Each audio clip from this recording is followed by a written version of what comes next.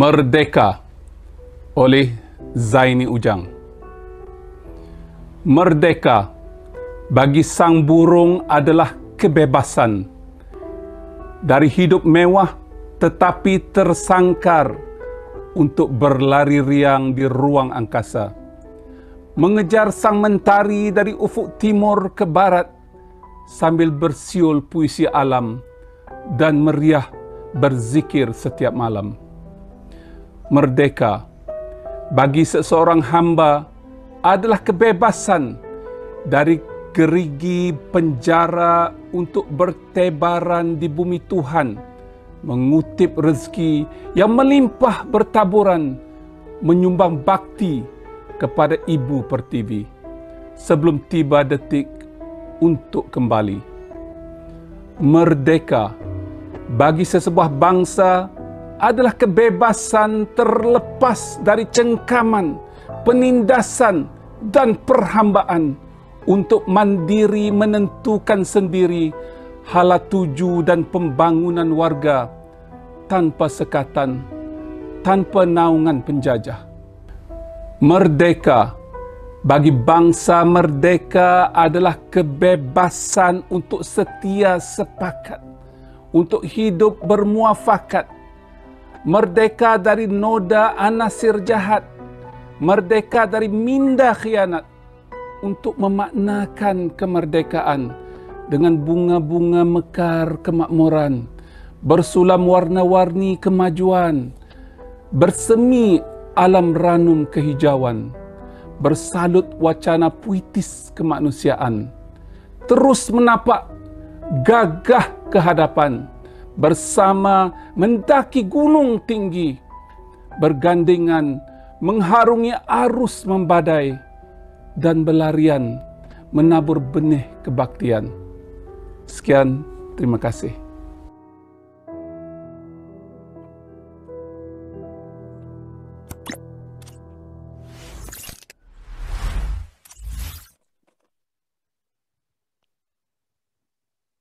Assalamualaikum warahmatullahi wabarakatuh. Selamat sejahtera Salam Merdeka Lestari, saya Zaini Ujang, Ketua Setiausaha Kementerian Alam Sekitar dan Air akan bersama anda selama sejam 30 minit uh, berbicara tentang Merdeka Lestari. Bersama saya pada hari ini ialah uh, para pegawai tertinggi di kementerian. Uh, kita ada yang, yang berusaha Dr. Ching Tu, anak lelaki Kim uh, seorang yang sangat dikenali dalam bidang air. Beliau adalah Timbalan Ketua Sektor um, Air dan Pembentungan. Apa khabar Dr. Ching? Khabar baik Dr. Sri. Dr. Ching, kalau cakap uh, Siam uh, Merdeka Lestari apa? Uh, Suksanwan Ekarat. Ah, macam tu dah Dr. Sri. Suksanwan so, Ekarat. So, Ekarat tu maksud dia merdeka. Merdeka. Suksan? Yeah sukses macam selamat macam lah tak sorry selamat ah, oh gitu ha. ya Yalah. Dr. Ching ni keturunan Siam lahir di Pendang uh, bachelor beliau daripada Universiti Kebangsaan Malaysia uh, dan beliau adalah pegawai PTD ada diploma daripada Intan kemudian belajar di UPM Masters kemudian belajar di Wageningen Wageningen Belanda uh, di peringkat PhD dalam bidang pengurus uh, ataupun water transformation Ya. Macam mana orang Belanda cakap Wageningen? Wageningen Delsi. Wageningen eh kena keluarkan suara. Ha, G tu dia keluar daripada uh, Ya, daripada nak tekak. Hey, kita tengkok kita. G tu. Ya. ya. So Dr. Ching akan berbicara bagaimana kita nak merdeka dari segi pelestarian alam sekitar, dari segi memastikan pelestarian sumber air dan bekalan air dan pembentungan di negara kita yang perlu kita fahami ya. Merdeka ni bukan hanya merdeka dari segi politik dari segi ekonomi dari segi sosial tapi dari segi alam sekitar macam mana? Kalaulah kita tak merdeka dari segi alam sekitar banyak perkara yang saya fikir kita masih lagi terjajah cara pemikiran kita. Jadi hari ini kita nak bebas dan merdeka dari segi pelestarian alam sekitar. Hmm. supaya kita jangan lagi terkongkong dengan pemikiran lama dengan kaedah lama Bersama kita juga ada orang baru di KASA iaitu Datuk Jana uh, Santiran berasal daripada Tanjung Malim, Perak. Uh, ini tempat kelahiran uh, apa ni um, sarjana-sarjana tanah Melayu seperti Zakba yang yang uh, berpengkalan di Tanjung Malim ketika UPSI uh, MPSI dulu. Uh, beliau uh, berkelulusan uh, bachelor dan master dalam bidang pengurus, pengurusan lah ya daripada Universiti Malaya. Sebelum ini uh, Datuk Jana berkhidmat di pelbagai kementerian, uh, Jabatan Perdana Menteri, Kementerian Pengangkutan, Kementerian Keuangan, Perumahan Kerajaan Tempatan dan Pendidikan. Jadi welcome to the ministry. Datuk Thank you, Jana. Ya. Baru you, satu sir. minggu ah. Baru enam hari Datuk Sri. Ah, enam hari, tak apa. Kita nak tengok orang orang baru punya aspirasi bagaimana tentang pelestarian alam sekitar. Datuk Jana ialah timbalan Ketua Setiausaha Kementerian yang bertanggungjawab kepada sektor alam sekitar. Di bawahnya ada dua yang penting lah. Satu yang berkaitan dengan Jabatan Alam Sekitar, yang keduanya berkaitan dengan uh, meteorologi. Kita di, ada juga di bawah itu MGTC, Malaysia Green Tech Corporate uh, and Climate Change Corporation. Kita juga ada bersama kita ialah Puan Catherine. Uh, beliau ni sangat istimewa. Hari ini beliau mewakili Sabah dan Sarawak. Um, Puan Catherine adalah setiausaha bahagian yang menjaga tentang air dan pembentungan. Uh, beliau ini adalah etnik grup Bidayuh. Uh, lahir di Kuching. Naik belon selalu. Ya. Uh, Tapi untuk tahun uh, dah ada satu dan hampir dua tahun saya tak balik dan. Ya, beli saja belon boleh pulang kamu. uh, beliau ni seorang yang terdidik dalam bidang perundangan. Um, uh, ijazah pertamanya di Universiti uh, uh, Teknologi Mara. Kemudian uh, beliau melanjutkan pelajaran di peringkat uh, LLM, Sarjana Perundangan daripada Melbourne University Australia. Sebelum ni beliau pernah bekerja dengan saya di KETA. Ketika itu beliau menjadi uh, CEO uh, Sustainable um, Uh, Sustainable Energy Development Authority ya ataupun SEDA. Uh, sebelum itu beliau juga berada uh, pernah bertugas di pelbagai uh, jabatan kementerian termasuk di MITI, di Mampu Sabah dan sebagainya. Bersama kita uh, ada seorang lagi iaitu uh, Puan Michelle. Um, Puan Michelle sekarang ni di Dubai. Uh, nampak je saja tunjuk kat kita dia di Dubai. Uh, beliau adalah Uh, pengarah yang bertanggungjawab untuk memastikan penyertaan Malaysia di Expo Dubai. Sepatutnya Expo Dubai ini pada tahun 2020 ditangguhkan setahun dan akan bermula pada bulan Oktober nanti insya-Allah dan beliau ditugaskan untuk pastikan persiapan uh, uh, apa ni pavilion Malaysia di Dubai dan beliau berada di Dubai. Beliau akan melaporkan perkembangan di Dubai. Uh, mana Michelle tak nampak Michelle mukanya mana? Ha. Di sini Datuk Sri. Selamat pagi. Michelle, uh, Michelle Lega adalah salah seorang uh, pegawai kanan di MGTC, Malaysia Green Tech uh, um, and Climate Change. Ya. Uh, dan uh, berapa lama dah di Dubai ni? Dah tiga minggu dah Datuk Sri. Sampai uh. Uh, awal untuk uh, tengokkan uh, uh, penyump- uh, menyumpun uh, uh, construction update untuk uh, Malaysia Pavilion.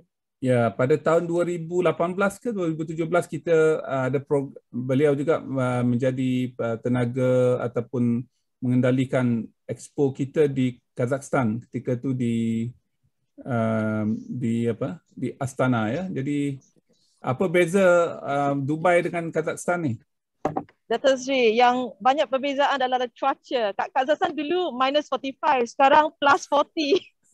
So cuaca dia memang very extreme difference. ya, yeah.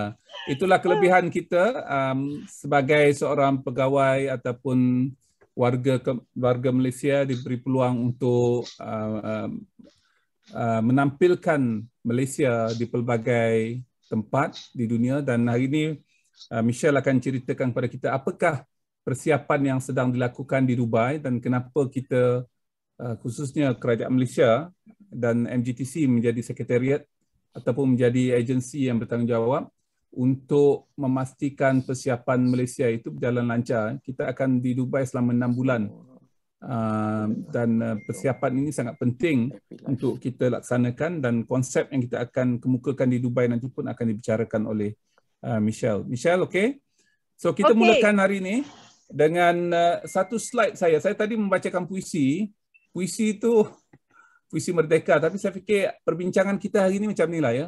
Uh, kita ada dua perkara yang melibatkan alam sekitar. Satu ialah tentang kefahaman kita. Uh, dan kita perlu independence in thinking. Maknanya kita tak boleh lagi terpengaruh dengan fahaman-fahaman lama tentang alam sekitar ni, alam sekitar ni uh, boleh di di digembeling, boleh dibangunkan atas nama pembangunan biarlah tercemar tak apa yang penting kita dapat wang secukupnya untuk uh, membalikan rakyat kita uh, dapat pendapatan dan kita akan uh, maju kemudian ya. Kalaulah kita berfikiran sedemikian tu kita akan masuk pada kolom yang atas tu lah. High in terms of green understanding but very very low in terms of commitment.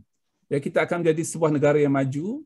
Uh, consumption kita tinggi, kita banyak mengguna. Setiap rumah ada 10 kereta, uh, rumah yang besar-besar uh, ada 12 aircon uh, dan kita berbelanja sebanyaknya dan tanpa mengira kesan pada alam sekitar ya itu kita panggil high carbon society. Tetapi kita juga tidak mahu menjadi masyarakat yang sangat committed kepada alam sekitar. Uh, dari segi mode of transportation kita pastikan kita naik uh, pengangkutan awam ataupun jalan kaki naik basikal.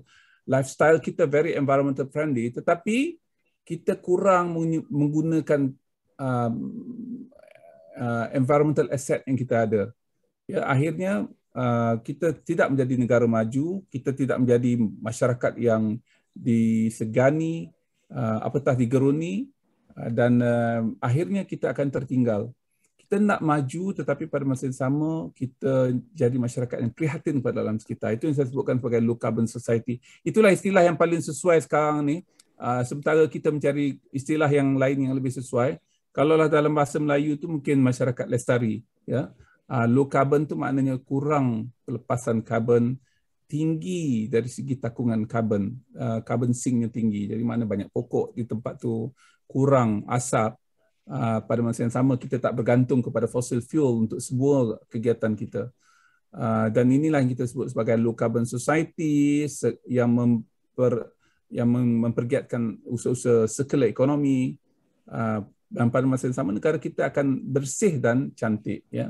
Uh, kita tak nak jadi bystander, ke mana pun kita tidak tak tak tak, tak maju ya. Jadi we we need to be low carbon uh, ataupun sekurang-kurangnya kita ada aktivisme untuk memastikan kita maju ke depan. Ini ada satu puisi baru yang saya tulis pagi tadi. Ayuh kita bersama membangun lestari sebelum puisi alam berlagu kelam. Ya, jadi saya pun sebelum kita uh, berwebinar ni kami adalah lima enam orang daripada kementerian kita mengadakan vlogging di Taman Tasik Cempaka. Ini aktiviti mingguan kita. Di, uh, dulu kadang-kadang kita pergi pagi-pagi kita bersihkan sungai, masuk dalam sungai, kutip sampah dan sebagainya uh, pagi tadi kita bersihkan tasik cempaka dan banyaklah sampah yang kita dapat kutip. Ini tak ada acara apa, datang kutip dan kita balik. Ya. Dan itulah yang kita nak buat, jadikan satu cara hidup. Uh, selain itu kata pada kita berjoging dan sebagainya. Jadi hari ini saya nak mulakan uh, perbincangan kita ni dengan menjemput uh, Dr. Ching lah untuk memperihalkan sedikit tentang apa yang kita boleh buat dari segi um, apa ni pelestarian alam sekitar dalam sektor air. Uh, Dr. Ching silakan. Eh, terima kasih Dr. Ching boleh juga cakap cakap Belanda ataupun cakap Siam eh. Itu nanti di di di hujung Dato Sri. Saya akan cakap sikit di hujung nanti. Oh, di hujung ada. Ya. Okey, terima kasih Dato Sri uh, uh, moderator, rakan-rakan ahli panel semua dan juga semua penonton di, yang mengikuti uh, Facebook Live uh, webinar pada pagi inilah. Eh. Tadi Datuk Sri sebut yang saya ni berketurunan Siam, Datuk Sri ya. Siam tu dalam dalam erti kata geopolitikal tu bermaksud merdeka, Datuk Sri. Oh. Uh, kalau kalau dapat tu dia Siam, Siam tu is merdeka. Uh, that's why Thailand dulu tu dulu is Siam kan. Hmm. Tapi tapi itu lebih dalam konteks politik lah, bebas daripada penjajahan luar dia cakap kan eh. Hmm. Tapi ada ada juga uh, pendapat bahawa Siam juga pernah dijajah oleh Burma. Ah uh, itu itu kalau tu semana sini Siam tu dah bermaksud merdeka, bebas. Okay. tahun ini uh, tema tema sambutan hari mana ialah uh, Malaysia Prihatin. Right? Dan mungkin saya nak kupas sikit Datuk Sri dari segi sektor air dengan aspek alam soalan kita. Kalau kita melihat dalam sektor air ini Datuk Sri kita ada empat uh, cabaran besar lah kan eh? Yang empat. Yang satu tu yang berkaitan dengan alam kita ialah tentang pencabaran sumber air kita ni. Ha. Saya nak kupas from that uh, uh, uh, uh, the perspective. Right?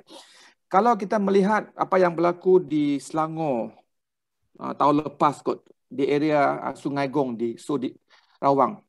Berlaku penutupan loji tiga buah loji besar iaitu SSP 1, 2 dan 3 yang menyumbang lebih 60% air di Lembah Kelang. 5 juta lebih penduduk terjejas bekalan. Kenapa? Sumber air di Sungai Selangor tu tercemar oleh bahan kimia yang dilepaskan daripada kilang-kilang. So kaitan rapat sumber air dengan alam sekitar. Right? Itu yang berlaku di Sungai Gong di Rawang. Juga berlaku insiden di Sungai Langat, di Sungai uh, Semenyih. So kita lihat dekat sini Datuk Sri kan right? Uh, dalam kita membincangkan isu air ni kita tak boleh tak boleh lari daripada juga melihat as- aspek dan impak alam sekitar juga kepada sumber air.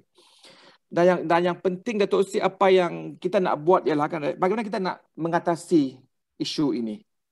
Orang selalu petikaikan Malaysia ni memang hujan yang banyak kita dapat almost 3000 mm setahun. Banyak sekali hujan tu. Tetapi semua tu pergi ke laut. Kita cuma menakung untuk kita guna dalam less than 5%. So dia so dia bukan isu uh, rocket science dah, isu more isu management, pengurusan ni.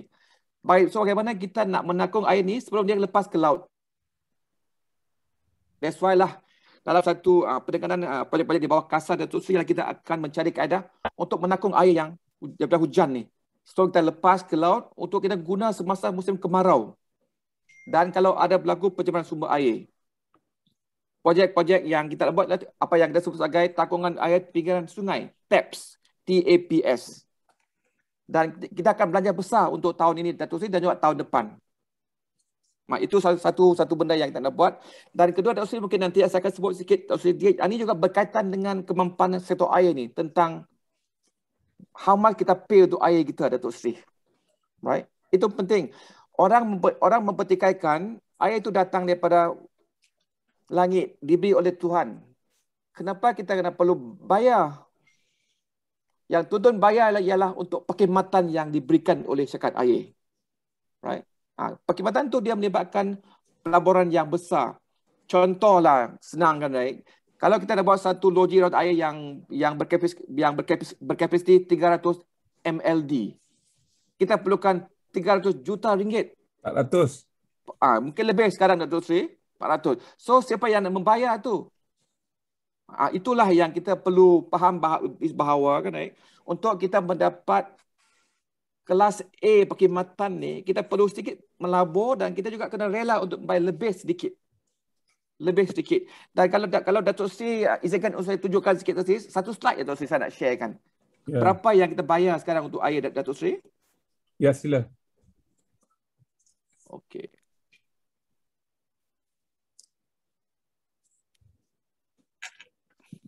Ya, ya saya, saya, saya besarkan. Okey. Kita lihat sekarang kan, right? Tarif air di Malaysia sekarang ni kita berada di bawah even country seperti Laos, Indonesia, Vietnam.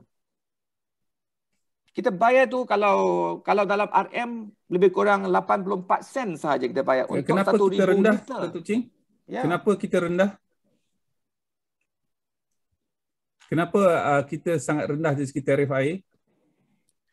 Kita ingin ingin memastikan Datuk Sri bahawa kita satu kita ingin dapat satu liputan yang lebih besar lah. Yang so yang kedua orang Malaysia ni dia tak memberi satu uh, apresiasi yang lebih kepada air kita ni. So bila kita nak nak buat sedikit adjustment tentang harga air ni Datuk Sri, agak suka dekat situ. So kalau lihat kan Datuk Sri, kalau nak buat sikit uh, sikit uh, mungkin uh, contoh-contoh lah kan eh. 21 sen USD bersama dengan 85 sen RM lah. Tuan-tuan boleh dapat 1000 botol air air mineral botol yang yang berkapasiti satu liter tu. Bayangkan. Kita Ya, bayar maknanya- maknanya, RM1. Maknanya merdeka dalam konsep uh, pengurusan air kita mestilah berdiri berdikari, jangan terlalu bergantung kepada subsidi, jangan terlalu mengharapkan um, uh, semuanya daripada um, pihak Ya. lain termasuk Hmm. kerajaan dan syarikat-syarikat air yang Ya. harus fikirkan. Mana merdeka kita mestilah merdeka kita bertanggungjawab kepada keperluan dan Hmm. khususnya dari segi utility lah ya. Hmm, Dr. Ching ya, kalau ya. secara ringkas saya boleh Boleh. boleh, itu. Yes, kita akan bincang balik Dr. Ching. Okey, okey. Ya, Okey. Datuk Datuk Jana, you are new to the ministry. I don't expect Oh. you to to to say something big. Kalau ada apa-apa perkara yang berkaitan dengan dengan uh, Merdeka Lestari ini yang you nak sampaikan dulu, kita boleh bincang-bincang. Ya, sila. Uh, Datuk Sri, sebagaimana kita setiap maklum, kita akan menyambut Hari Kemerdekaan yang akan 64 ni pada 31 Ogos. Ya. Uh, dan saya buat sedikit uh, sebagai budak baru dalam uh, di kementerian lah kan. So telah rujuk kepada definisi Dewan Bahasa dan Pustaka. Dan uh, I was trying to get the meaning of merdeka. Jadi kalau kita ikutkan Dewan Bahasa Pustaka ni agak jelas, merdeka ni dalam erti kata sebenarnya adalah bebas dari penjajahan, kurungan uh, dan juga naungan. Atau keduanya dia kata mungkin lepas daripada dijadikan tebusan ataupun tuntutan. ya. Dan yang ketiganya berdiri sendiri, tidak bergantung kepada yang lain atau berdikari. Jadi dalam konteks ni Datuk Sri dan juga sahabat-sahabat yang lain, uh, adakah adakah kita bebas? Sebenarnya kita bebas. Lepaskah kita? Merdekakah kita? Kita patutlah bersyukur pada masa ini Datuk Sri. Malaysia makmur uh, dan terus membangun uh, dan kita dapat mengatur dan mencatur agenda dari segi alat tuju negara berlandaskan kepada acuan dan aspirasi kerajaan atau dalam tiga kata lain kerajaan yang sedang merintah sekarang. Namun jika kita perhalusi sedalam-dalamnya Datuk Sri, adakah kita ni akan meninggalkan satu warisan yang terbaik kepada generasi yang akan datang? Kepada anak cucu, kepada cicit kita, merdeka ke alam sekitar kita ni? Jadi dalam konteks ni, jom kita perhalusi persoalan ni Datuk Sri dengan Ya. melihat beberapa insiden. Saya sebagai sekali lagi sebagai orang luar eh, sedang mem- memperhalusi perkara berhubung uh, dengan alam sekitar ni. Yang pertama kita dapati yang baru-baru ini kita dapati ada satu kejadian tular di media sosial iaitu tindakan segelintir pelajar ya, yang telah mencampakkan uh, buku sekolah mereka setelah tamat peperiksaan SPM ke dalam sungai. Hmm. Lepas tu terdapat juga insiden-insiden lain yang uh, agak agak pelik lah bagi kita eh, dalam di Malaysia ni. Tindakan seorang pemandu yang menggunakan laluan kecemasan dan dia buangnya sampah uh, ke dalam sungai yang tepi, di tepi lebuh raya tu. Jadi semua tindakan ini menunjukkan bahawa rakyat kita, masyarakat kita ni belum lagi merdeka. Dan kita masih lagi dijajah. Ni saya pe- petik balik apa yang Datuk Seri uh, mukadimahkan awal tadi kita belum lagi merdeka dari aspek sebegitulah akibat daripada perbuatan segelintir pihak. Masyarakat kita ni masih lagi melupuskan sampah dan bahan lama terpakai melalui uh, pembakaran terbuka. Mereka bakar tilam, perabot lama, bakar sisa tanaman pokok, sisa kebun sayuran dan macam-macam lagi lah. Dan dia telah menjadi satu perkara lumrah. Walaupun kita semua sedar bahawa pembakaran ini mencemarkan udara dan memberikan uh, kesan yang amat buruk kepada kesihatan. Impaknya telah nyata pada kita sekarang. Uh, dana yang di- dibelanjakan oleh kerajaan, terutamanya oleh Kementerian Kesihatan dalam menjaga kebajikan kita itu sendiri telah menunjukkan betapa sihatnya kita dari konteks tersebut. Dan sedikit kajian yang dilakukan dengan uh, melihat kepada WWF ataupun tabung kehidupan liar. Kira-kira 8 juta plastik dibuang ke laut setiap tahun dan dianggarkan se- uh, menjelang tahun 2050 ni. Uh, kemungkinan untuk melihat plastik bag tu uh, berbanding ikan ni, kita mungkin lihat lebih banyak plastik bag daripada ikan. Oh, ini cukup menggemparkan. Dan kalau ini tidak dibendung, kita akan meninggalkan uh, satu bentuk warisan yang yang I think the future generation is going to curse us. Mereka akan maki kita kalau kita tinggalkan sebegini ya. Jadi dalam konteks satu lagi pula, kita dapati penduduk yang tinggal berhampiran kawasan sungai membuang peralatan elektrik dan elektronik ke dalam sungai sebagai satu jalan sengkai. Dan uh, dan bagi mereka ianya agak mudah lah. Tanpa mereka ni, sedar tak sedar, akibat dan kesan daripada tindakan mereka ni. Yang paling uh, paling uh, menyakitkan hati ialah pendapat-pendapat tindakan beberapa uh, individu yang boleh buang pula mereka buang kereta eh, yang uh, kereta-kereta terbengkalai ni dimasukkan ke dalam laut dan sebagainya. Jadi bila kita kita dengar benda-benda ni dan membaca perkara ni amat amat menyedihkan hati lah. Tapi kita sebagai pihak kerajaan dan kementerian yang tanggungjawab sekarang ni, nanti kita kena ambil tindakan yang lebih drastik dalam bagi menangani isu-isu tersebut. Kemudiannya kita juga pernah berhadapan dengan gangguan bekalan air dan tempoh masa yang panjang. Terutamanya di negeri Selangor lah. Biasa berlaku benda-benda ni. Dan kesemuanya berlaku disebabkan oleh tindakan manusia. Tindakan individu yang tidak bertanggungjawab, yang tidak mempedulikan langsung keperluan rakyat dewasa ini. Jadi saban hari juga kita mendengar tentang kempen hindari plastik sekali guna oleh kerajaan. Kempen uh, Datuk Seri dan sahabat-sahabat lain, dia akan menjadi kempen semata-mata. Sekiranya rakyat dan kita semua ni tidak sama-sama memikul tanggungjawab uh, untuk menyelesaikan masalah tersebut. Kita ni tak payah nak kata nak pergi bersihkan sungai. Memang uh, Datuk Seri mungkin uh, orang yang agak special lah. Setiap hari Sabtu saya dipahamkan Datuk Seri lakukan aktiviti ya dengan bersama dengan masyarakat uh, tempatan dan sebagainya. Tetapi bagi rakyat biasa di luar tu, mereka mereka apa yang saya sendiri belajar daripada kementerian selepas 6 hari bertugas. I think kita uh, kita boleh amalkan benda-benda yang simple. Contohnya membawa shopping bag. Bag sendiri yang boleh digunakan. Uh, jangan gunakan plastik. Bawa bekas makanan sendiri. Uh, you know dan uh, guna, uh, botol air ya. banyak kali Datuk Sri dah maklumkan. Dan telefon Hamari saya dah dengar banyak kali nasihat daripada Datuk Sri. Mandi pun sampai jangan lebih daripada 3 minit dan sebagainya. Jadi benda-benda ni saya rasa rakyat biasa, rakyat marhai ni boleh amalkannya. Dan that is already contributing to the to the uh, nation. Jadi akhirnya Datuk Sri, kemanakah perginya yang perlu rakyat fikir ialah ke mana perginya sisa-sisa plastik ni? Sisa buangan elektrik ni? Barangan lama ni mana perginya? Jika ia dibakar, uh, segala uh, jadi kalau sekiranya benda ni bakar, apa yang akan berlaku ialah kehidupan uh, kehidupan di dunia ni akan mengidu dan menghirup udara dan akan membawa kesan kepada kita kemudian. Tetapi sekiranya ia dibiarkan uh, dalam jangka masa panjang, ia akan menyebabkan masalah kesihatan yang yang serius kepada uh, habitat lah, termasuk manusia. Jadi Ya. sedikit melalui data Health Organization, 4.2 juta kematian akibat Ya. daripada pencemaran udara setiap tahun. Dan jika ia dibuang air di sungai, buangan ini akan hanyut dan berakhir di laut. Dan kemudiannya, ekosistem tadi akan berubah. Kehidupan di laut akan pupus. Jadi benda-benda ini akan me- memudaratkan nyawa manusia dan juga kehidupan-kehidupan lain di Okey. laut. Kita boleh sambung Datuk nanti Sri. Datuk uh, Dat, uh, Datuk Jana. Sure. Okey, sir. Thank you, sir. um, uh, jadi banyak uh, isu yang berkaitan dalam sekitar uh, we, uh, kita kena fikirkan uh, sebaik-baiknya kurangkan penghasilan sampah. Kalau kita terhasil sampah itu nanti pengurusan sisa itu sangat uh, rumit. Kalau dibakar menyebabkan pencemaran udara pada masa yang sama akan meningkatkan pelepasan karbon.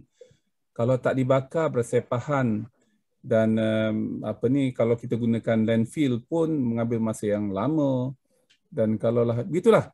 Tapi sebaik-baiknya kurangkan consumption itu sebab saya sebutkan tadi uh, masyarakat yang maju biasanya uh, menggunakan pelbagai barangan dan sebab barang banyak wang wang berlumayan. Jadi mereka boleh beli banyak barang boleh uh, buang banyak barang dan sebagainya. Akhirnya akan menyebabkan uh, masalah pel, uh, sam- sampah ataupun buangan.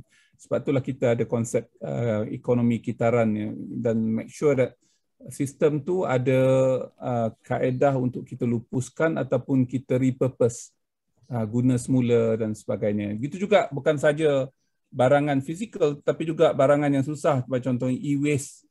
Uh, kalau kita tengok uh, sukan Olimpik baru-baru ni semua medals atau semua ingat yang di, Ya. di, diberikan kepada pemenang tu semua daripada e-waste.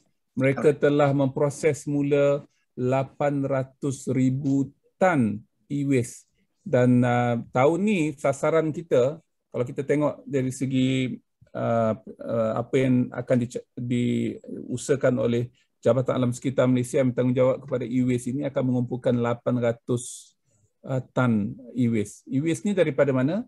Daripada telefon kita, daripada Electronic. radio yang kita gunakan, te- uh, yalah, uh, wiring, uh, kabel dan sebagainya. Yang dalam tu sebenarnya ada emas, ada perak, ada uh, gangsa dan macam-macam uh, bahan minerals yang sebelum ni kita nak dapat uh, barangan tersebut kita pergi buat perlombongan baru. Sedangkan emas yang telah digunakan tu memanglah kualitinya dan kuantitinya tidak sebaik uh, kalau kita dapatkan daripada sistem perlombongan. Tapi sekurang-kurangnya kita boleh gunakan dengan lebih baik kalaulah kita ada kitaran ekonomi. Jadi saya fikir sektor alam sekitar nanti your main task is to ensure that kitaran ekonomi ini berlaku. Dan kita telah uh, telah menyiapkan satu daripada item tu. Satu ya iaitu plastik. Uh, guna semula uh, sekali guna yang akan insyaallah by 2030 tak ada lagi uh, di di Malaysia. Sekarang ni kita okay. telah telah usahakan dan uh, dah mula laksanakan uh, dan ini memerlukan kerjasama banyak pihak lah. Okey puan Catherine orang Sabah dan Sarawak ni dari segi um, saya pernah bersama keluarga saya dulu keluarga saya tinggal di uh, Kem Lok Kawi di di uh, berhampiran dengan Kota Kinabalu lah. Lama enam tahun ya saya setiap cuti sekolah tu saya akan pulang ke Sabah. Dan saya suka suka ketika tu kami setiap kali cuti itu kami akan pergi satu tempat so, uh, Pulau Ula lah, hmm. pergi Gunung Kinabalu, pergi uh, Tamparuli, pergi banyak-banyak tempat yang saya fikir sangat istimewa. Uh, jadi dari segi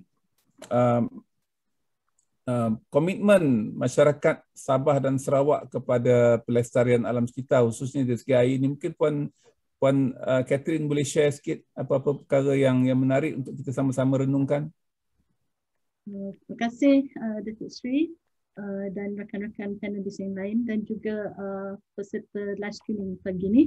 Uh, saya uh, baru uh, mungkin dua bulan lebih lah dekat KASA uh, tapi saya mewakili Sabah Sarawak dari segi uh, uh, air dan uh, pengamatan uh, ataupun uh, uh, uh, alam sekitar elemen Sabah Sarawak uh, kita tahu bahawa uh, mod uh, pengangkutan yang paling um, uh, banyak diguna ialah uh, air.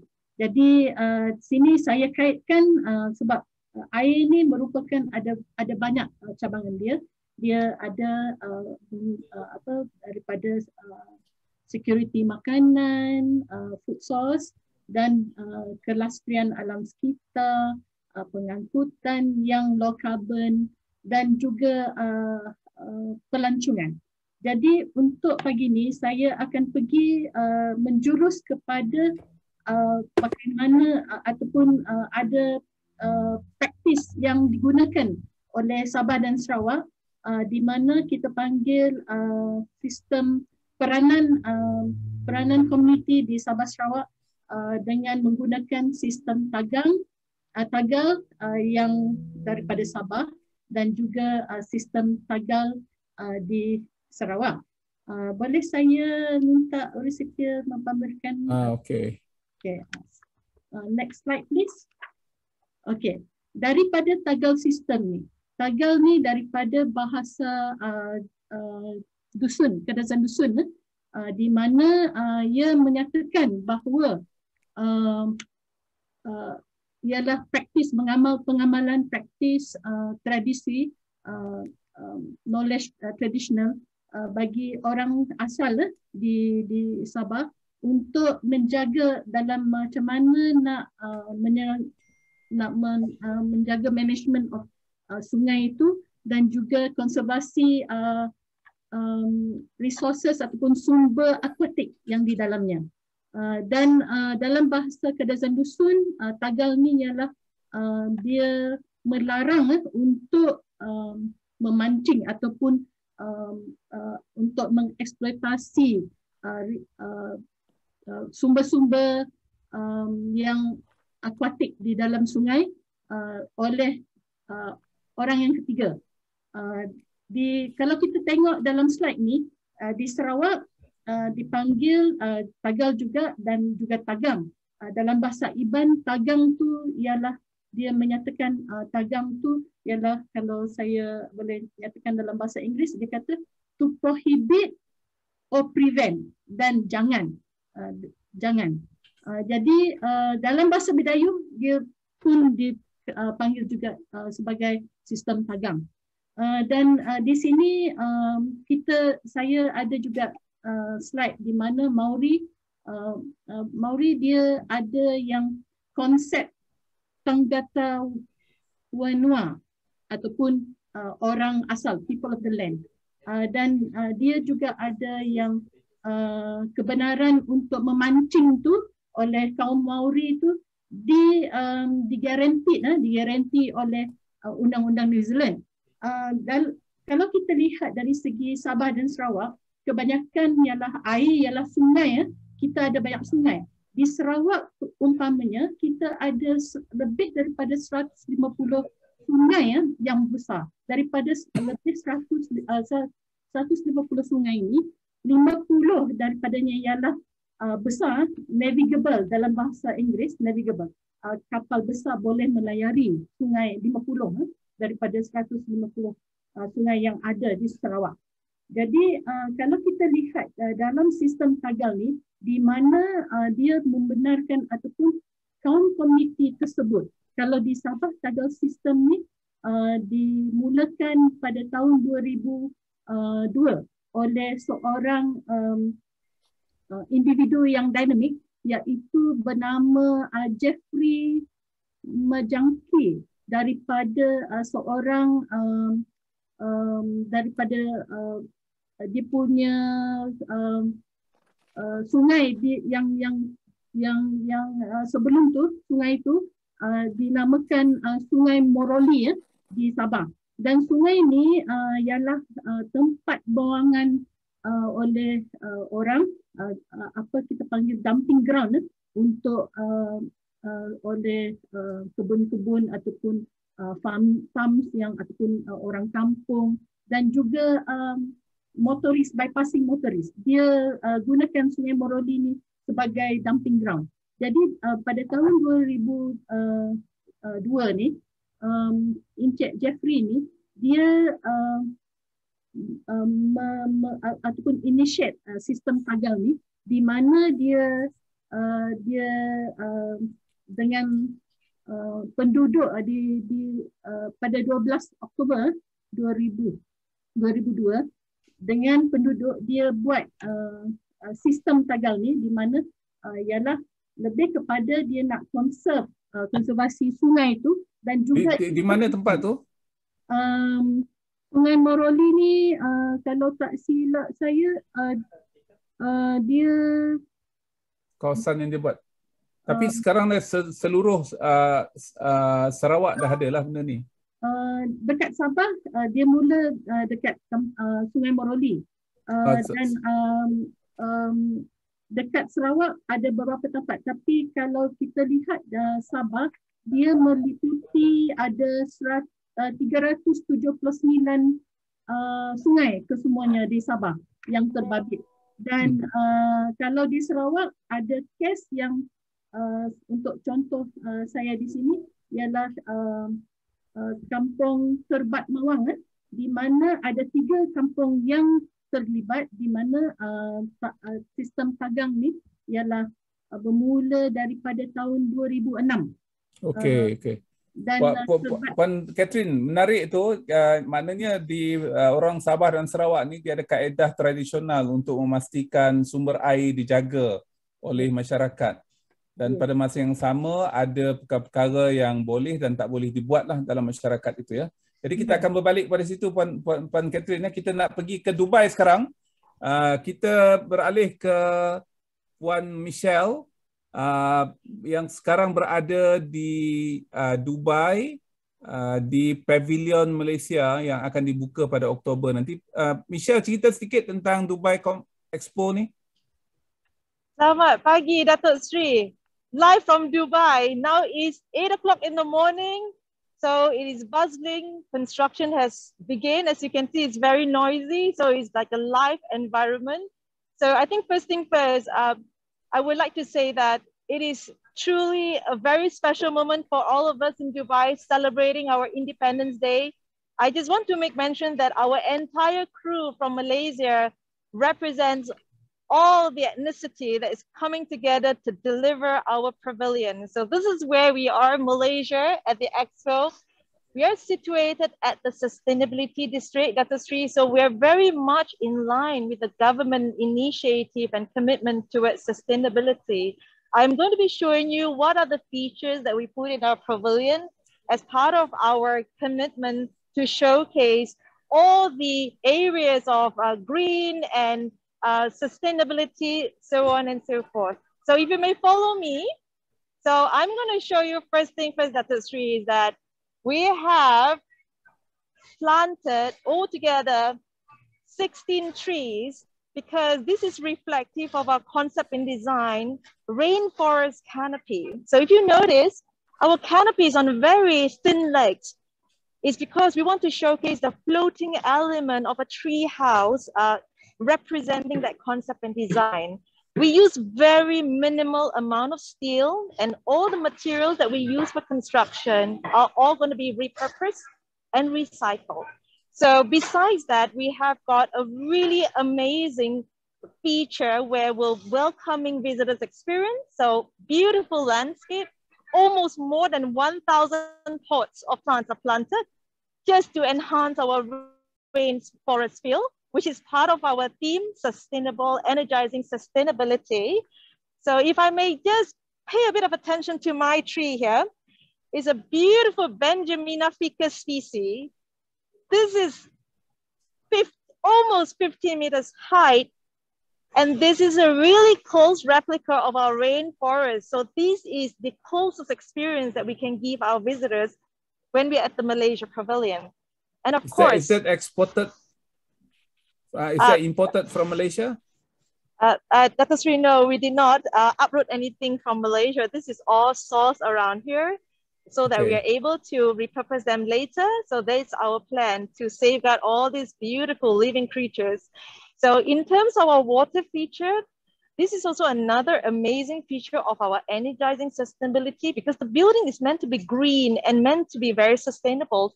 So the water here actually cools the place as we walk into the pavilion because you know that in the in, in Dubai it's a bit warm.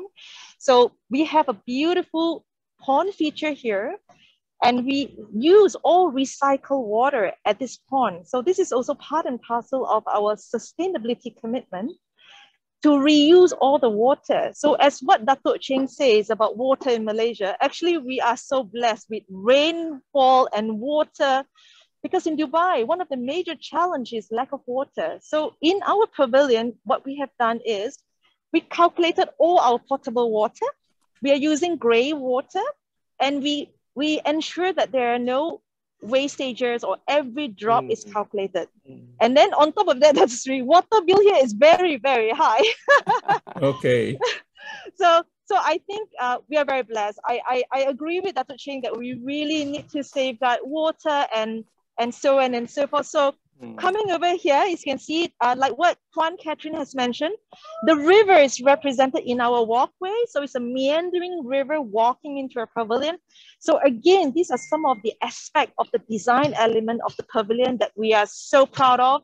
Can't wait for people to come to see what we have. And as you can see at the entrance, also continues with the river in terms of design element. And of course, in terms of uh, the wood that we are using is all from our sustainable forest management. So our Meranti is going to be a highlight of what we have because it comes with certification. It complies to uh, sustainable forest management. So these are very important key features that we want to tell the world that Malaysia has Yeah. such great practices. So these are Uh, very uh, important message. Thank, thank you, Michelle. I will get back to you. Um, uh, do, do, uh, we with some questions probably from from audience, but we're coming back to um, Dr. Ching, uh, Dr. Jana, and Puan Catherine and Michelle. can can we share from your perspective uh, three practices that all Malaysian, uh, um, I mean citizens, warga Malaysia, sorry saya cakap bahasa Inggeris pula, warga Malaysia boleh laksanakan untuk memastikan yang kita ni sebuah bangsa merdeka dari segi perspektif air, perspektif alam sekitar, perspektif uh, contohnya kembali kepada akar umbi etnik kita ataupun uh, kaum kita ataupun agama kita yang kita boleh yang simple thing saya bagi tahu contoh tadi uh, saya, saya sekejap eh, saya tadi saya ingatkan saya dah share saya tak share rupanya. Ah okey nampak nampak tak ni gambar ni nampak ya Nampak, nampak. Ah, ini pagi tadi plogging yang kita buat. Uh, plogging ni di uh, Tasik Cempaka. Air sungai yang mengalir di Tasik Cempaka ni berpu, berasal daripada Putrajaya. Uh, iaitu di Presin 15. Dan air ini mengalir ke kampung uh, Datuk Abu Bakar Baginda di seberang sana kemudian masuk ke Bangi dan inilah masuk ke Bangi dan air sungai ini akan masuk bercantum dengan Sungai Langat dan Sungai Langat ini di hilirnya kira-kira uh, 15 km di hilirnya tu ada loji Semenyih 2. Ada dua loji air, satu Semenyih 2, satu Semenyih 1. Semenyih 1 dapat air daripada Sungai Semenyih, Semenyih, sem, uh, Semenyih loji air Semenyih 2 dapat air daripada Sungai Langat. Jadi orang Bangi dapat air daripada air yang kita alirkan ke uh, sungai ini. Sungai yang mengalir daripada Putrajaya masuk ke Sungai Langat ini dipanggil Sungai Air Hitam. Saya pun tak tahu kenapa nama Sungai Air Hitam, tetapi kita berusaha sebab sebab uh, ini adalah dua aliran utama yang keluar daripada daripada uh, Putrajaya. Satu uh, berhampiran dengan uh, PICC, yang kedua ialah Sungai Air Hitam ni lah. Kita nak pastikan insya-Allah air tersebut air yang bersih, pegawai-pegawai kanan kementerian, ramai KSU tinggal di kawasan sungai inilah. Ya, jadi kita nak usahakan supaya sungai ini jadi sungai yang uh, dicontohi dari segi komitmen kita uh, warga setempat. Sekurang-kurangnya sampah-sampah tak masuk ke sungai ini. Hmm. Ya, sekurang-kurangnya kalaulah berlaku pencemaran kita kita ada usaha untuk sekat pencemaran tersebut berlaku. Jadi pagi tadi seperti biasa uh, setiap minggu kita akan turun cari sungai yang bersesuaian jadi kami telah pergi buat acara vlogging ataupun dalam bahasa Melayu ni kita panggil kudah, kutip sampah sambil riadah uh, pada pagi tadi. Uh, ramailah yang turun tapi saya kebetulan duduk di sebelah sini jadi sama saya tu lebih kurang dalam 6-7 orang lah. Ramai lagi yang masih belum hantar gambar kepada saya. Jadi saya upload gambarnya dulu. Dan ini adalah usaha kita yang simple. Kita nak merdeka ni maknanya negara kita kena cantik. Negara kita kena bersih. Orang tengok lalu di tepi jalan negara kita, orang rasa wow, this is a great nation. Sebab negaranya bersih, bukan negaranya kotor. Dan kita jangan harap orang lain nak nak kutip sampah tu. Kadang-kadang kita, anak kita yang buang. Ya, jadi kita ambil tanggungjawab, pastikan negara kita bersih. Negeri seperti Jepun, kita selalu sebut, di sekolah mereka tidak ada janitor, tak ada orang yang bersihkan sekolah. Anak-anak sendiri yang bersihkan sekolah.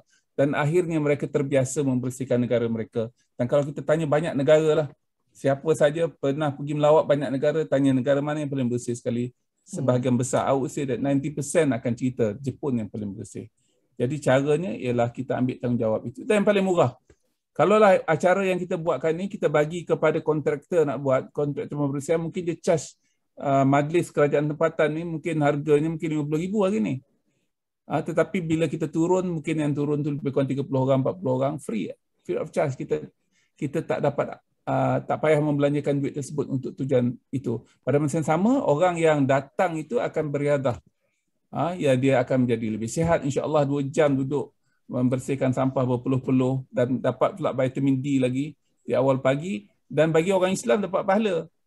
Ha, bagi orang Kristian pun mungkin dapat pahala lah. Dan bagi yang lain sebab kita memastikan yang persekitaran kita ceria.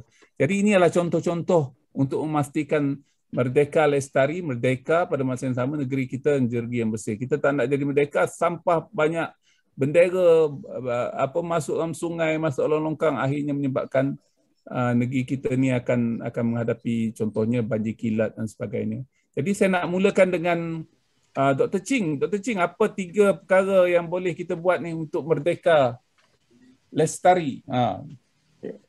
Uh, Dato' Sri, um, kalau kita nak go back to ajaran orang tua kita dekat kampung dulu kan, right? Yang satu sebab satu yang dia ajar kita jangan membazir. Ha. Kita perlu merdeka daripada sikap suka membazir ni. Dalam air ni pula Dato' Sri, penting ialah membazir tu kalau macam tu yang Datuk dah sebut tu kalau mandi tu mungkin lima minit dah mencukupi. Satu. Yang kedua pula kita juga perlu membantu menjadi mata dan telinga syakat-syakat air ni. Contohlah kalau kita pergi uh, ke shopping mall. On the way tu kita nampak pipe pecah. Right? Kita boleh call syakat air bagi, tahu. Sekarang sekarang handphone lagi senang. Ambil gambar isata. Itu yang saya buat sekarang Datuk Sri, sekarang kalau ada yeah. tu saya akan bagi tahu okey. Ha, ini kita tolong untuk mengurangkan pemaziran sebab nanti yang akan terkesan kita juga pengguna ni. Ha, itu itu bazir. Dan yang ketiga Datuk yang penting ialah I nak go back tu tadi yang sumber air tu Datuk Sri kan right? Kita kena merdeka daripada sik, uh, sikap sikap buruk yang kita sikap pengotor I will say lah Datuk Sri kata put, put belan kan right? daripada mencebarkan sumber air why not kan right? kita bawa lah macam orang Jepun bawa lah satu plastik bag dalam dalam bag kita tu untuk kita buangkan sampah-sampah ni sampai dekat rumah kita bawa dalam tong, tong, uh, tong sampah dan saya uh, tinggal di kawasan uh, kediaman yang bertingkat dan itu yang saya buat Datuk Sri. Bila saya pergi ke nak bawa sampah tu, saya akan bawa plastik, saya akan kutip lah on the way tu, saya akan buat benda tu. Dan dan mungkin orang akan melihat ini satu satu pertanyaan yang so yang agak pelik lah kita ada appoint contractor, biarlah dia buat kerja kan naik. Tapi mereka lupa bahawa inilah rumah kita, inilah negara kita. Kalau kita tak buat, siapa lagi akan buat? Dan kita juga pernah tengok kalau orang Jepun datang ke stadium, kalau tengok tengok uh, perlawanan bola sepak, lepas habis uh, game, mereka akan collect sampah tu. Uh, itulah saja I, I nak melihat nanti kan kita merdeka daripada uh, sifat membazir kita merdeka daripada sifat pengotor yang menjebalkan sumber air. Dan juga kita kena merdeka daripada sifat yang suka bergantung pada, bergantung pada orang lain. Ya, kita mula oh, dulu. Semua bergantung kepada orang lain untuk buat keperluan-keperluan kita. Ya, Seandainya kita tempat kita ni bersih, kita tak perlu appoint pun kontraktor tu. Betul, betul. Ya, dan duit yang kita appoint kontraktor tu gunakan untuk bayar kontraktor tu boleh gunakan untuk tujuan lain. Hmm. Ya. Jadi ya. secara tak langsung negara kita bersih disebabkan oleh kita. Tapi saya ada satu teori lah dan saya perhatikan benda ni dah lama. Mereka yang halang sesuatu benda berlaku, dia tidak akan buat benda tu. Hmm. Ya, maknanya kalaulah kita nak menghalang supaya uh, sampah tidak dibuang dengan dengan banyak dengan dengan berleluasa di dalam longkang dan sebagainya, kita kutip sampah tu. Jadi confirm kita tak akan buat sebab kita yeah. tahu betapa, betapa susahnya untuk mengutip sampah tersebut. Uh, dan uh, kalau kita dapat ajak orang, sebab itulah di Jepun, eh, Dr. Ching, yang kita nak buat hari itu tak jadi disebabkan oleh uh, um, PKP ni. Di Jepun, dia ada satu hari setiap, almost setiap warga negara akan turun untuk bersihkan kawasan mereka. Yeah. Hmm. Clean up day. Clean hmm. up day. Dan banyak negara sedang buat itu. Contohnya Rwanda. Uh, jadi nanti Datuk Jana kita kita tengok Rwanda is the sekarang ni the cleanest Exemplary. the cleanest yeah. uh, uh, country in the world. Yeah. Lebih oh. hebat daripada Jepun. Sebab setiap akhir uh, bulan hari Sabtu if I'm not mistaken setiap mm. orang wajib turun. Kalau you tak turun eh kena uh, uh, lapor diri kepada uh, ketua kampung kenapa you tak turun. Mm. Jadi secara tak langsung tak ada sampah dekat sana. Ya, yeah. ini Rwanda. I'm not talking about um, yeah. Switzerland. I'm talking about Rwanda. Okay. Rwanda. Uh, Rwanda yeah. pada satu ketika dulu dia berbunuhan beratus ribu mati. Yeah. Yeah. Ya, bila mereka bangkit, mereka nak jadi negara yang maju, negara yang bersih. Cara negara yang bersih tu dia ada clean up day every uh, month. Hmm. Uh, tu. Jadi kalau kita tengok pergi kepada Google, kita tengok Rwanda cleanest country contohnya lah ada orang bagi rating Rwanda lebih bersih daripada Jepun sekarang inilah. Ya, disebabkan oleh itu. Jadi uh, Datuk Jana kita start apa tiga cadangan you ni? Okey, Tok Sri. Dalam kita memerdekakan alam atau dalam konteks Malaysia eh. macam mana kita nak merdekakan sebenarnya. Ya, pertama saya terus kita berhijrah lah kepada gaya kehidupan hijau. Macam mana yang telah kita amalkan sebelum ini, amalan kitar semula, uh, mungkin pengasingan uh, sisa bahan buangan yang boleh dikitar semula dan sebagainya dalam kehidupan seharian. Jadikannya part of our, our culture lah. Yang keduanya, yeah. hindarilah plastik sekali guna tadi. Bawa yeah. shopping bag ke pasar, guna bekas makanan, cawan yang dibawa bawa dari rumah, minum uh, air dari water dispenser lah untuk yeah. menghindarkan air botol mineral. Ini dah Datuk Seri berpuluh kali maklum kepada yeah. kami dah. Uh, ketiganya, I think dalam konteks yang lebih besar, kesedaran dan pendidikan masyarakat tempatan seharusnya kita berikan keutamaan. Uh, jadikanlah masyarakat tempatan kita eh, satu... tempatan mana di mana kita tinggal. Correct. Di mana, mana kita, kita tinggal. tinggal. Ah, neighborhood kita. Dan I think yang paling penting sebenarnya aktifkan persatuan penduduk di kawasan uh, perumahan kita tadi. Mungkin kita boleh menjadi apa ni peneraju. Bawa sekali masyarakat kita bersihkan. That's what you're doing, sir. I think yang tu boleh kita perluaskan. Mungkin kita yeah. perlu bekerjasama dengan uh, Kementerian Perpaduan dalam uh, bekerjasama dengan uh, PBT, PBT. PBT ha, lah PBT. yang paling penting PBT. Ha. PBT and rukun tetangga sah. Ya, ya, rukun tetangga. Right. Dan tadi Dr. Chin ada maklumkan uh, penglibatan komuniti sebagai mata telinga. In fact, dia boleh juga jadi tangan kepada kerajaan. Ya, ya. Dia bukan saja memaklumkan kita, banyak uh, bentuk-bentuk aduan yang boleh dibuat.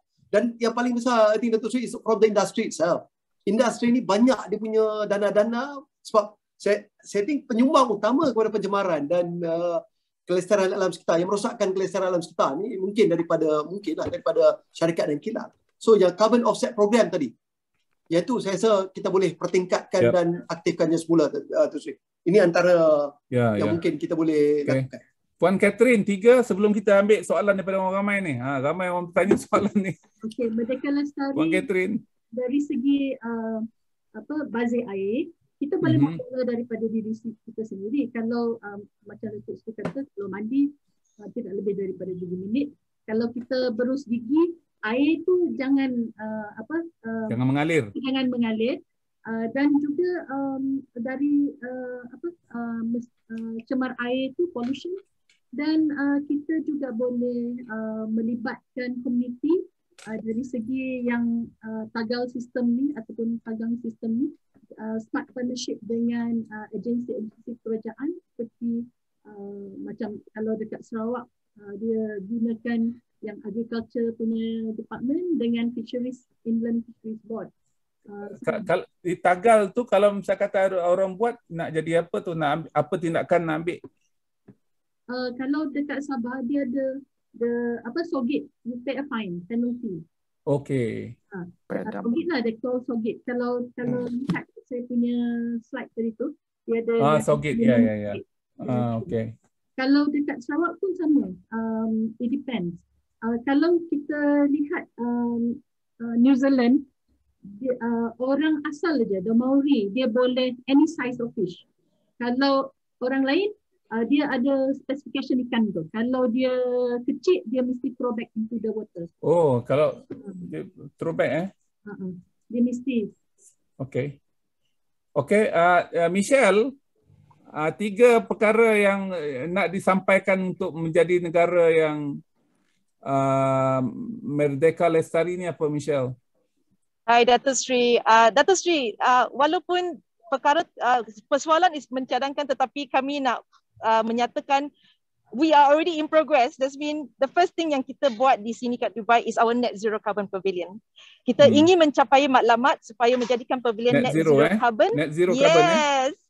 Yes, and we are ranked top five greenest pavilion at the expo in August by the national newspaper. So I hope our ranking will mm. fly high and make our country proud. And number two, we have pledged no single-use plastic. That's mean the entire operation of our Malaysia pavilion, we will be committed no single-use plastic. So kalau Dato' Sri izinkan nanti kita ada satu campaign video baru yang kita nak tunjukkan kepada semua. Yeah. It's an international video campaign done by a Malaysian producer, young and talented. So we are so proud of him. And thirdly, Okay, okay, sekejap, sekejap, sekejap, sekejap. Yeah. No, nombor dua, nombor satu tadi, net zero tak yeah. semestinya in big scale. Net zero can be project based. Yeah. Betul. Yeah, betul ya. Yeah. So this is our project, Dr. Sri, so we're very proud. So anyhow, uh, the third one, I think is all of us, whoever that is coming to the pavilion or working at the pavilion, all Malaysians or anything, we will continue to pursue, like for example, Dato Ching or Puan Catherine says, we must continue to make sure that we don't waste, we always clean, make sure pavilion is bersih. So I think these are all the sustainability habits that we must have in this uh, project of ours so that we reflect what we say and we practice what we say we will do.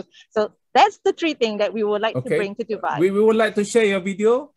Sila. Oh, Uh, second. Thank you. Thank okay. you so We much. would like to, to share your video sebelum kita buka untuk soal jawab dengan pendengar. Sila, Azim.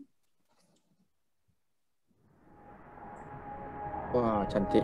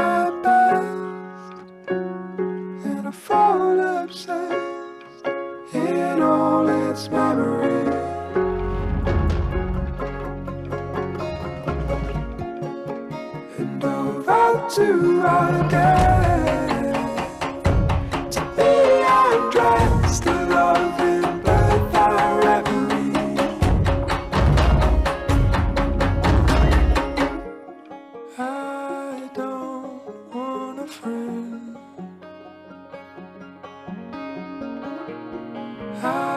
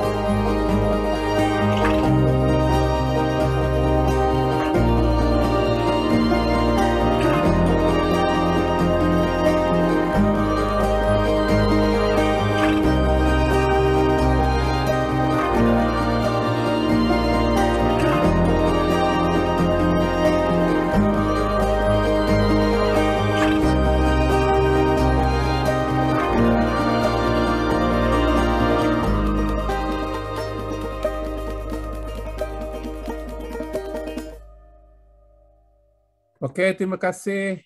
Uh, terima kasih kepada uh, tim kita di Dubai yang menyiapkan uh, apa ni video yang menarik tersebut. Boleh kita kembali? Ya. Ni ada satu soalan yang dikemukakan kepada kita lah. Uh, saya tujukan soalan ni kepada Dr. Ching lah, Dr. Ching ya. Ya. Ada yang bertanya, apakah keupayaan warga tempatan uh, seperti perunding dan kontraktor untuk membina kemudahan yang berkaitan dengan perkhidmatan air dan lain-lain? Adakah kita uh, bo- boleh berdiri berdikari macam dulu sebelum merdeka, selepas merdeka, selama beberapa tahun apa nak buat saja kita cari orang daripada Jepun. Ya. Hmm. Uh, dari segi ni, dari segi perunding kontraktor dan katalah dari segi sumber keuangan tu bolehkah uh, uh, diperolehi uh, dari dari kalangan uh, perkhidmatan tempatan? Kita Dr. Sri, um, dari aspek tu saya melihatkan eh, kita dah melama dan merdeka. Kita mempunyai banyak uh, syarat-syarat perunding, is contractor dan juga kita ada juga kemampuan kewangan untuk kita membina infra air. Contoh kalau kalau. Sri masih ingat, kita ambil contohlah senang kan kita faham.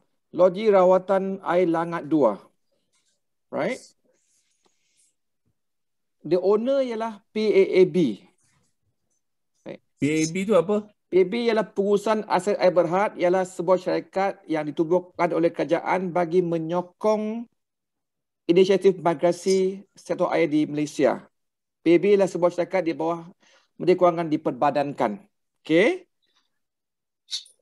Kontraktor yang membina lang- langat tu tu terdiri dari sebuah konsortium. Okey. Kalau kalau tadi kalau saya sebut yang diketuai oleh syarikat MMC. Kita ada kita ada kepakaran MMC dekat situ kita ada uh, Ahmad Zaki Berhad dekat situ kita ada Low and Low dekat situ. Okey. Kewangan kita no issue. Pak Ab berjaya beriskan bahawa 4 bilion Datuk Seri untuk nak buat langat tu. So no issue.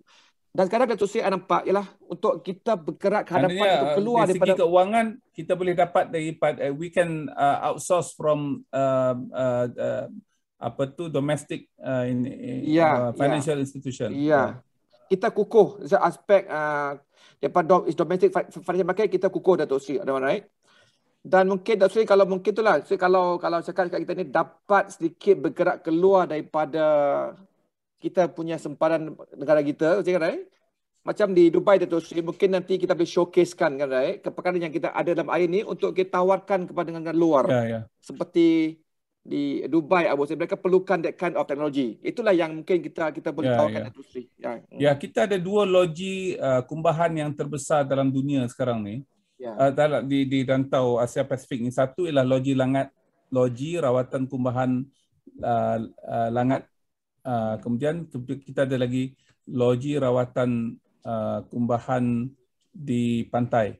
Ya. Uh, dua ni adalah yang yang terbesar sekali lah di kawasan sini ya ya lebih daripada satu juta population equivalent. Ya. Dan biasanya uh, loji-loji yang ada walaupun di negeri-negeri besar seperti China ataupun negeri yang maju seperti Jepun mereka tak bina besar macam tu disebabkan oleh uh, sistem um, apa, apa ni uh, uh, network pipe itu akan menjadi terlampau susah untuk dibangunkan di di Jepun saya fahamlah sebab selalu gempa bumi jadi dia tak akan banner yang panjang-panjang yang besar-besar macam tu takut kalau lah berlaku gempa bumi yang besar habis rosak jadi dia lambat untuk pulihkan. Jadi saya saya ambil poin Dr. Ching tadi maknanya kontraktor tempatan, uh, perunding tempatan, institusi keuangan tempatan mampu menyediakan perkhidmatan kepada keperluan rakyat Malaysia dan kita telah merdeka dari segitu. Betul Dr. Ching eh? Ya, betul. Kita tak ada masalah. In fact, syarikat-syarikat air kita buat banner uh, apa ni kemudahan di Runhill ada kemudahan di seluruh dunia, Ya. MMC ada kemudahan di seluruh dunia. Uh, di uh, di China di uh, di, di uh, apa ni di Timur Tengah Ya. di banyak lain. Jadi kita dari segi itu saya proudly ataupun secara uh, bukan bangga dirilah maknanya kita bers- bersyukur sebab syarikat-syarikat kita mampu. Kalaulah 20 tahun dulu nak buat banner uh, hal yang besar macam tu kita akan cari uh, foreign consultant, partner daripada luar untuk banner kemudahan-kemudahan yang besar macam ni. Tapi sekarang ni kita boleh buat sendirilah Dr. Ching eh. Jadi saya nak tanya Michelle eh, Michelle, what are we going to uh, demonstrate in terms of uh, expertise in Dubai?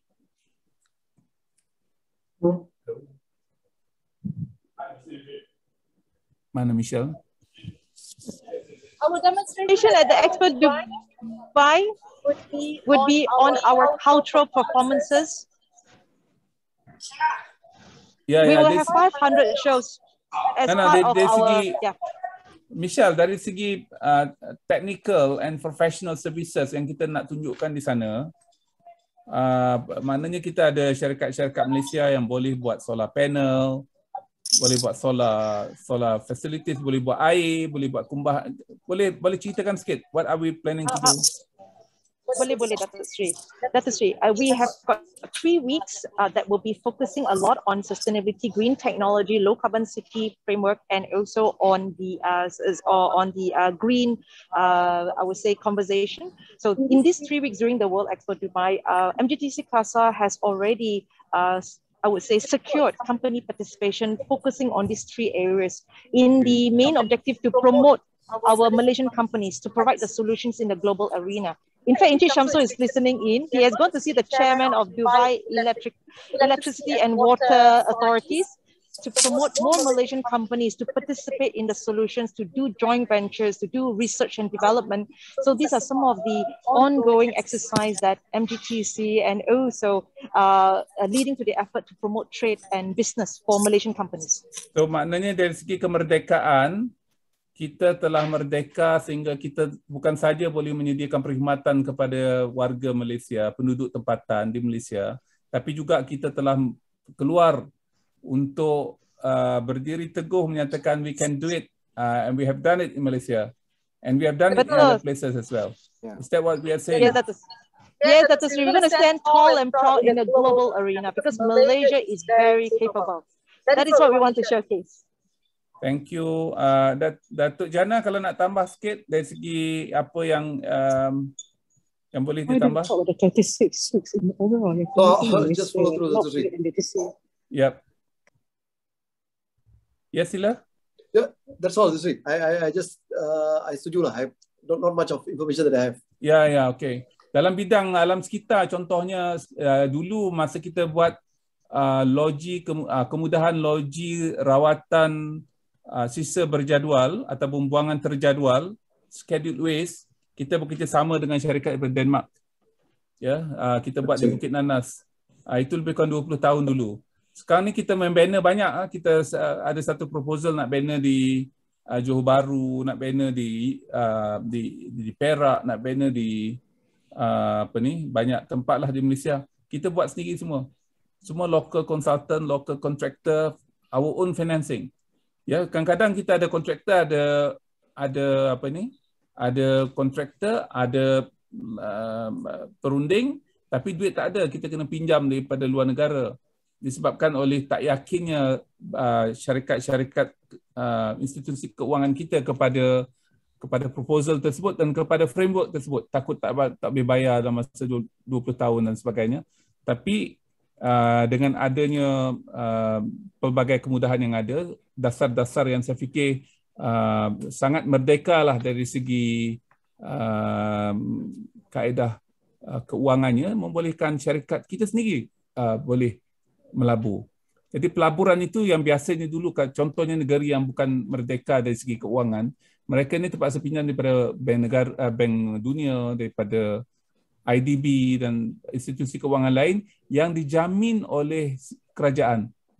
Ya, dalam konteks ini kerajaan tak jamin pun. Maknanya syarikat itu sendiri boleh berdiri berdiri sendiri, pinjam uh, wang saya ingat masa saya jadi KSU di di Keta dulu ya, uh, Puan Catherine the first sukuk yang kita lancarkan 1 1.3 bilion. Uh, semua tu tak di tak di it's not government guaranteed sukuk. It is uh, project guaranteed sukuk. Maknanya di kalangan pemain-pemain industri itu dengan adanya uh, dasar kerajaan mereka sendiri bersetuju memberikan uh, pendanaan yang murah. Ya, yeah, the cost of financing is very cheap lah so to speak ya yang negeri lain tak boleh buat. Sebab itulah kita boleh buat LSS large scale solar dengan mudah. Ya dan sampai sekarang ni banyak syarikat ni sendiri. Yang dulunya kalau kita nak buat projek-projek macam tu perlukan kepada uh, uh, uh, garanti ataupun uh, disokong oleh kerajaan dari segi keuangan. Tapi kita tak perlu lagi dah. Ini satu kemerdekaan yang sangat besar membolehkan kita lestari. Kita nak buat uh, apa ni uh, large scale solar pro- project kita nak banner apa Dr. Ching? Um, uh, apa ni loji perawatan air, loji perawatan kumbahan. Ya. ya, kita boleh dapatkan yeah. sokongan keuangan daripada institusi keuangan dalam yeah. negeri.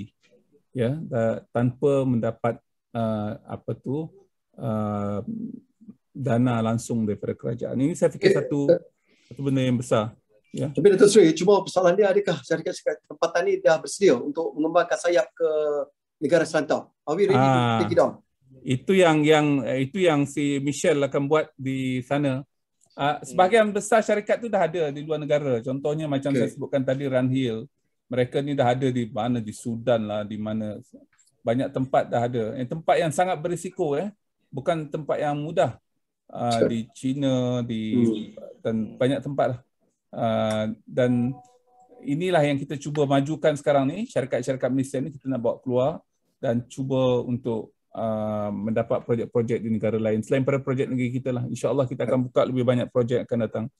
Uh, saya ada satu soalan lagi ni yang ditanyakan. Uh, soalan ni sangat penting ya. Um, apakah peranan individu untuk memastikan pelestarian uh, kemerdekaan pelestarian ini boleh kita uh, gerakkan. Eh, tadi Dr. Ching ada sebut tentang tentang uh, kita ni bazir dan sebagainya. Tetapi kita sebagai individu ni untuk menyatakan kemerdekaan itu apakah caranya? Kalau misalnya kata dari segi um, dari segi uh, politik ataupun dari segi semangat kita boleh laungkan merdeka. Tetapi dari segi individu untuk kita nampak merdeka dari segi pelestarian kita tu apa benda yang boleh kita buat Dr. Ching to express your tu. Mungkin dalam bahasa Siam ke apakah Datuk Sri kalau dalam bahasa Siam ni mungkin susah sikit kot Sri. Sri uh, itulah uh, kita kena um, buat sesuatu untuk ibu pertiwi kita lah ha? yeah. yang memang memang menagih uh, simpati kita. Yang satu Sri kata dalam air Dato' Si, apa yang kita boleh buat ialah kalau kita dapat bil air, bil pembutungan, bayarlah mengikut masa yang ditetapkan. Okey. Itu satu. Mudah, mudah. Kita kadang orang Malaysia ni kadang pelupa, tapi itu perlu yang akan mudah. Bila sebab air selampau ya. murah sangat sebab tu dia tak ah, tak biasa. penting. Okey, satu okey. Yang so yang kedua pula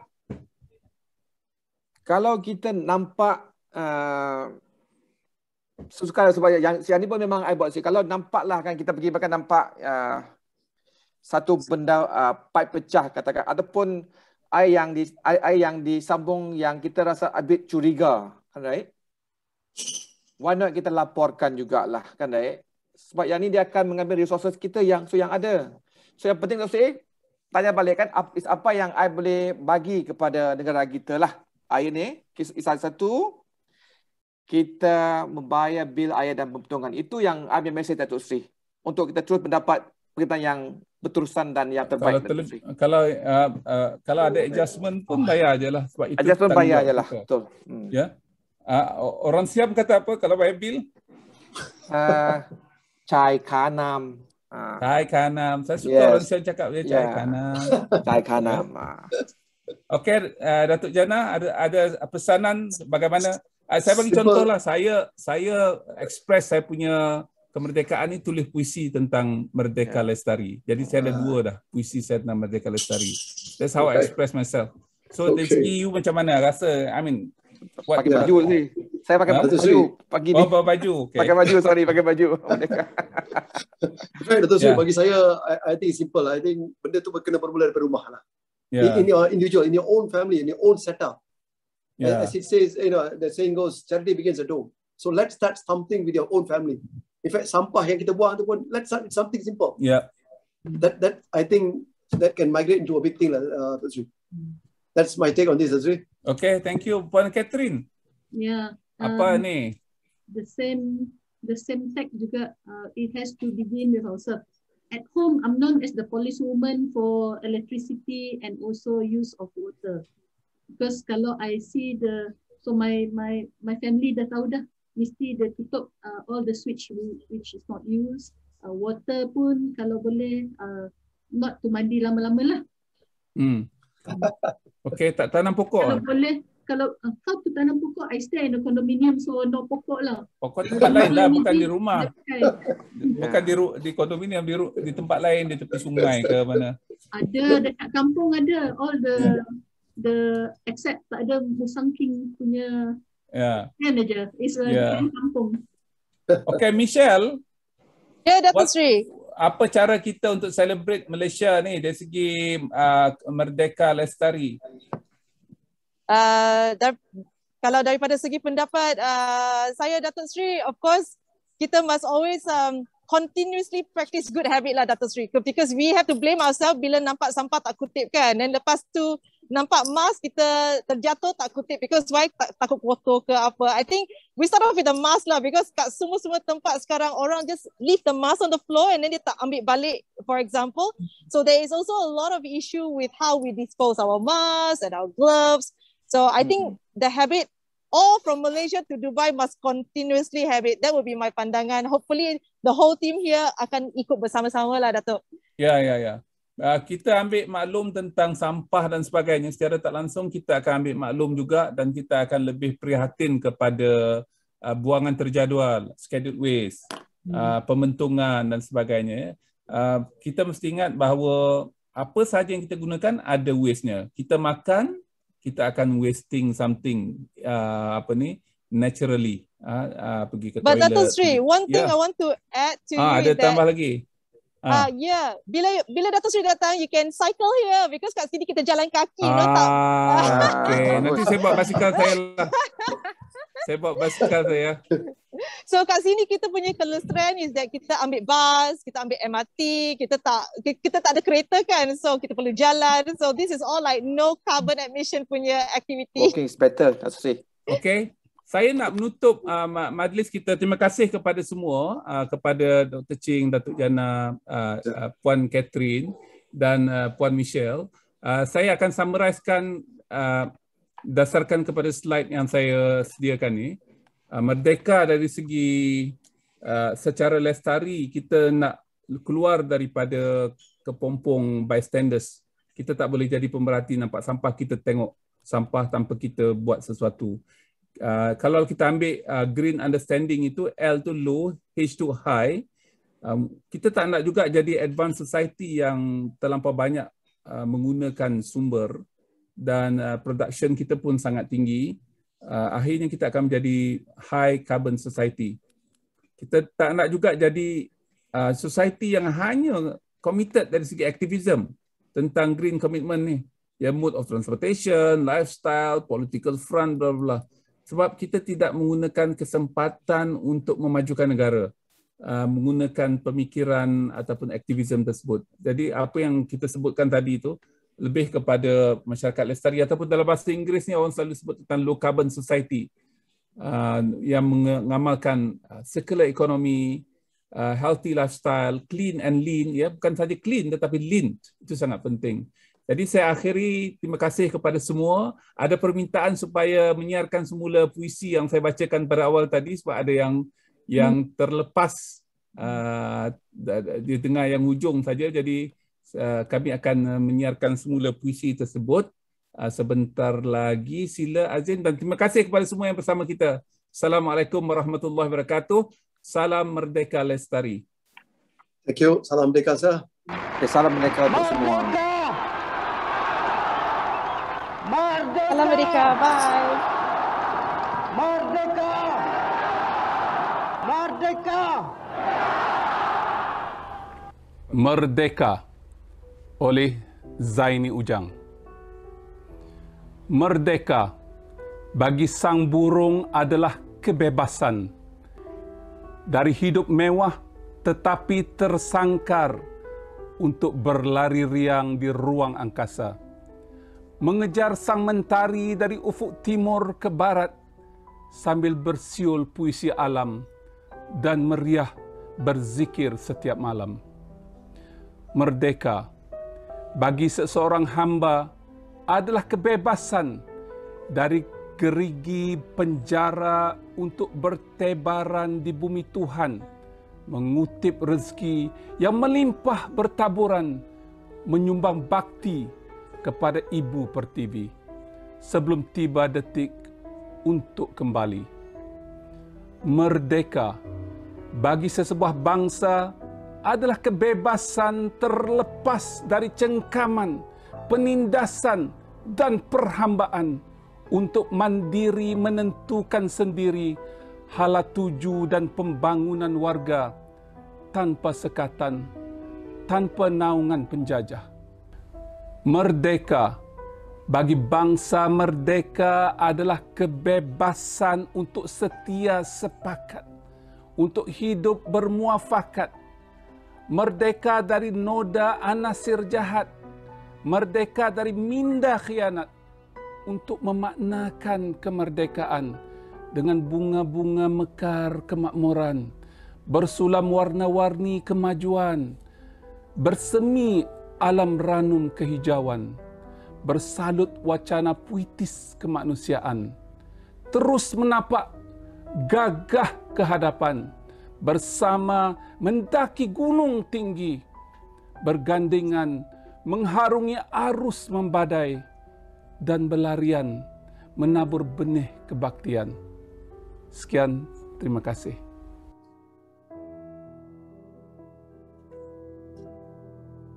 Mari Datuk Sri. Salam Merdeka.